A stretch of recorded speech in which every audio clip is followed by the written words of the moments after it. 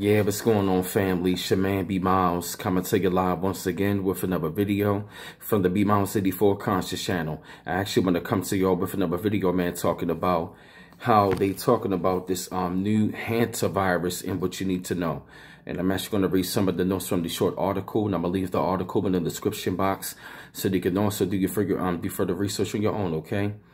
Now, they were saying that, you know, um, about the hantavirus, it isn't a new virus, and it has been well documented for a while.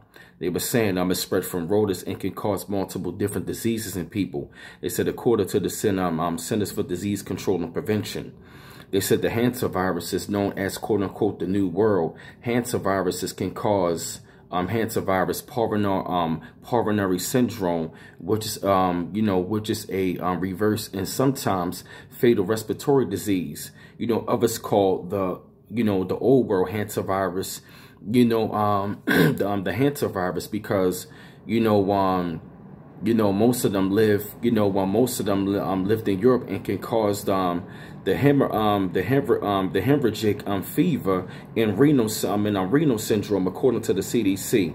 And the CDC said each hantavirus serotype has a specific rodent host species, and it is spread to people via um, um, aerosolized virus, you know, that shed, um, you know, that shedding urine, feces, and saliva, and less frequently by a bite from an infected host.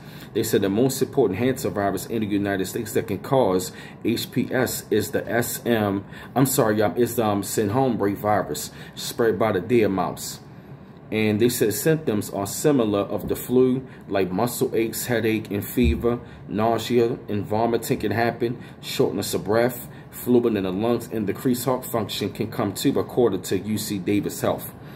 And um, also they said like a man died in China as well. So um, this um, this just came on recently, so I, I, really wanted to cover it, but I definitely will say don't have any type of fear about it. I, I, I would just say be aware about these things, but don't have any fear because that's one of the main things how you can like contract these kind of things by having the fear.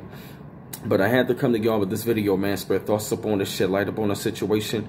I felt the need that y'all had to hear this subject. Keep on liking and subscribing to my channel. Always appreciate the love.